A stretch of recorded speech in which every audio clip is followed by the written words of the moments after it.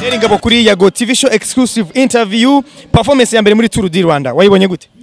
Eh, nayibonye neza. Eh, abantu ba bakunze indirimbo nabahaye batwaririmbanye nabonye. Urabona ko nyine ari abantu bazi indirimbo zanjye. Eh, ni ibintu byanshimishije cyane. Uko byamera kose umuhanzi ashobora kuba wenda atari mukuru mu myaka atari munini mu gihagararo ariko ari munini mu bikorwa. Indirimbo zawe abafana hano i Rubavu baraziririmbye. Ni nabwo bwa mbere performingiye mu karere ka Rubavu. Wabibonye gute? Byanshimishije eh, usibye ko n'icyizere nari ngifite kuko indirimbo zanjye uko iminsi igenda mbona abantu benshi bazi bazimenya ba- ba- bazumva. Rero ni ikintu nakunze cyane. Bikweretse iki? Binyeretse ko abanyarwanda bamaze kumenya nyine bazi indirimbo zanjye ubu ahasigaye n'ahanjye ho gushyira izindi ndirimbo nyinshi. Hanyuma indirimbo zawe hafi ya zose niwumva zigenda gahoro cyangwa se zikoze mu buryo bwa R&B ntabwo ari za ndirimbo zisimbuka cyane. Mu gihe wenda abaturage bo mu cyaro akenshi baba bashaka gusimbuka. Ibanga icyo ubahishiye ni iki ku kuba wazajya mu- bindi bice bigize u Rwanda? Eh, koko indirimbo nkora ni iza R&B cyane zigenda gahoro ariko n'izo zo kwihuta ndi kubikoraho cyane. Yego. Hanyuma kuba warashyi- warashyizwe kuri kuri up. Y'abahanzi bagomba kuririmba muri muri Tour du Rwanda. Hariho abandi bahanzi banini muri kumwe bitwa ba Bruce Melody uwitwa Butera Knowless muhuriye muri lab imwe mugenzi wawe Igor Mabano nawe utaragira wenda izina rinini ari kurimo no gutegura kuri album ye n'abandi bahanzi batandukanye nka nka nka Pi uriya nyine Mr P ngiye mwita Mr P ubungu Platini wo muri Dream Boys n'abandi banini. Bisobanuye iki ko baribonye kuri ra rutonde? Ni ni ni ona niko nabivuga. Ni iby'agaciro kanini kuko abahanzi hafi ya bose uwo a- aririmba muri guma guma namufanaga nka Igor njya ngunda kumubwira agicuranga ingoma ari umufana we cyane. Rero kubona uri ku rubyiniro rumwe n'abahanzi wa- wa- wafanaga muri za guma guma ari abantu ureberaho ari nabo batumye njya mu muziki ni ibintu by'agaciro cyane. Hanyuma duhereye mu, karere ka Rubavu. Niyo performance ya mbere ukoreye hanze ya Kigali? Yego yego. Yego niyo ya mbere hanyuma ahandi wenda ushobora kuzagaragara kuri performance ni hehe ni Musanze ku munsi w'ejo. Ni no ku gatandatu i Kigali. Yego. urategereza ko i Musanze bizaba bimeze bite?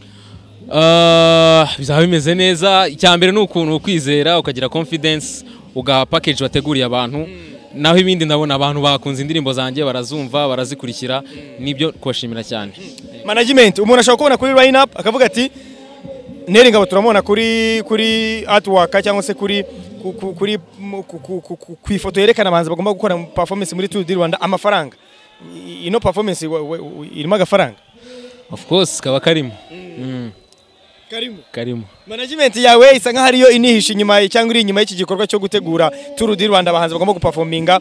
Mwa mwaradirinze gute? Uri umuhanzi ubarizwa hariya nubwo tutaramenya niba warasinyemo amasezerano cyangwa se utarasinya ubundi warasinye ya muri kino music narasinye mfitemo contract yego yego. Igihe kingana gute? Ibyo biracyari confidential musaza. Eh. Warasinye uri umuhanzi wa kina music. Oji ukwasi. Mm. hanyuma uperformance imbere ya Igol uratekereza ko performance ya iza kubimeze gute urano ni umusaza aratwika. Naza twikuka murusha. Wabikoze? Oya wabikoze. Ubwo nyine biraba ni natirwa y'abantu ariko umusaza ndamuzi ni mubi cyane. Eh, ni Eh, arakwigira mubi cyane waba uri bitotsi urabyuka umusaza.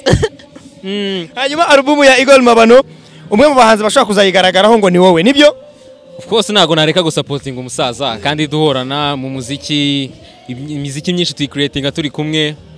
Nawe ujya ubibona kenshi ujya udusangana muri studio rero ntabwo nabura kumusapotinga yego. Muri make uzagaragara ku rubyiniro. Of course yego. Imyiteguro imeze ite? Ebana abantu bitegura ibintu birenze.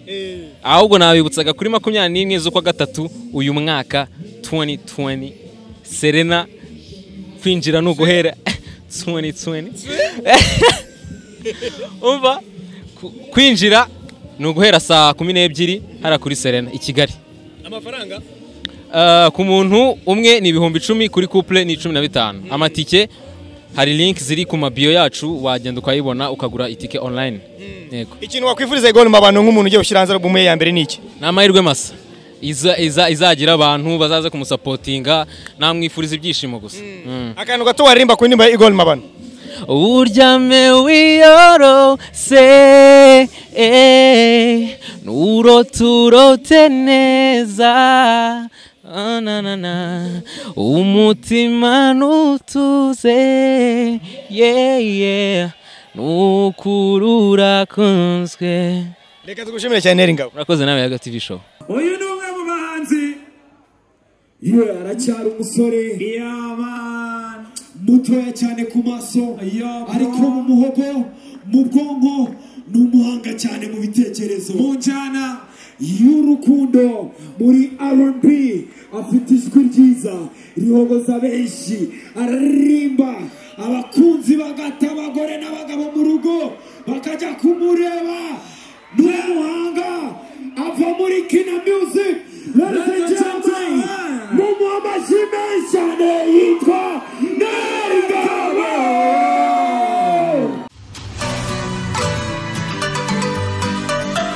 Ngabo kuri Yago TV show exclusive interview performance ya mbere muri Tour du Rwanda. Wayibonye gute? Eh, nayibonye neza. Eh, abantu ba bakunze indirimbo nabahaye batwaririmbanye nabonye. Urabona ko nyine ari abantu bazi indirimbo zanjye. Eh, ni ibintu byanshimishije cyane. Uko byamera kose umuhanzi ashobora kuba wenda atari mukuru mu myaka atari munini mu gihagararo ariko ari munini mu bikorwa. Indirimbo zawe abafana hano i Rubavu baraziririmbye. Ni nabwo bwa mbere performingiye mu karere ka Rubavu. Wabibonye gute? Byanshimishije eh, usibye ko n'icyizere nari ngifite kuko indirimbo zanjye uko iminsi igenda mbona abantu benshi bazi bazimenya ba- ba- bazumva. Rero ni ikintu nakunze cyane. Bikweretse iki? Binyeretse ko abanyarwanda bamaze kumenya nyine bazi indirimbo zanjye ubu ahasigaye n'ahanjye ho gushyira izindi ndirimbo nyinshi. Yego. hanyuma indirimbo zawe hafi ya zose niwumva zigenda gahoro cyangwa se zikoze mu buryo bwa R&B ntabwo ari za ndirimbo zisimbuka cyane. Mu gihe wenda abaturage bo mu cyaro akenshi baba bashaka gusimbuka. Ibanga icyo bahishiye ni iki ku kuba wazajya mu- bindi bice bigize u Rwanda? Eh, koko indirimbo nkora ni iza R&B cyane zigenda gahoro ariko n'izo zo kwihuta ndi kubikoraho cyane. Yego. Hanyuma kuba warash- warashyizwe kuri kuri up. Y'abahanzi bagomba kuririmba muri muri Tour du Rwanda. Hariho abandi bahanzi banini muri kumwe bitwa ba Bruce Melody uwitwa Butera Knowless muhuriye muri Lab imwe mugenzi wawe Igor Mabano nawe utaragira wenda. Izina rinini ariko urimo no gutegura kuri album ye n'abandi bahanzi batandukanye nka nka nka Pi uriya nyine Mr P ngiye mwita Mr P ubungu Platini wo muri Dream Boys n'abandi banini. Bisobanuye iki ko baribonye kuri ra rutonde? Ni ni ni ona niko nabivuga. Ni iby'agaciro kanini kuko abahanzi hafi ya bose uwo a- aririmba muri Guma Guma namufanaga nka Igore njya ngunda kumubwira agicuranga ingoma nawe umufana we cyane. Rero kubona uri ku rubyiniro rumwe n'abahanzi wa- wa- wafanaga muri za Guma Guma ari abantu ureberaho ari nabo batumye njya mu muziki ni ibintu by'agaciro cyane. Hanyuma duhereye mu, karere ka Rubavu. Niyo performance ya mbere ukoreye hanze ya Kigali? Yego yego. Yego niyo ya mbere hanyuma ahandi wenda ushobora kuzagaragara kuri performance ni hehe? Ah, ni Musanze ku munsi w'ejo. Ni no ku gatandatu i Kigali. Yego. urategereza ko i Musanze bizaba bimeze bite? Ah, bizaba bimeze neza. Icya mbere ni ukuntu ukwizera ukagira confidence ugaha package wateguriye abantu. Naho ibindi ndabona abantu bakunze indirimbo zanjye barazumva barazikurikira. Nibyo kubashimira cyane. Management umuntu ashobora kubona kuri line up akavuga ati Neri Ngabo turamubona kuri kuri artwork cyangwa se kuri ku- ku- kuri ku- ifoto yerekana abahanzi bagomba gukora performance muri Tour du Rwanda amafaranga. Ino performance irimo agafaranga. Of course kaba karimo. Mm, karimo. Karimo. Management yawe isa nkaho ariyo inihisha inyuma cyangwa iri inyuma y'iki gikorwa cyo gutegura Tour du Rwanda abahanzi bagomba guperforminga. Mwa mwaradirinze gute? Uri umuhanzi ubarizwa hariya nubwo wenda tutaramenya niba warasinyemo amasezerano cyangwa se utarasinya ubundi warasinye ya muri kino music narasinye mfitemo contrat yego. Igihe kingana gute? Ibyo biracyari confidential musaza. Eh. Warasinye uri umuhanzi wa kina music. Oji ukwasi. Mm. hanyuma uperforminze mbere ya Igor. Uratekereza ko performance ya Igor iza kuba imeze gute? Uriya ni umusaza aratwika. Naza twikuka murusha wabikoze? Oya wabikoze?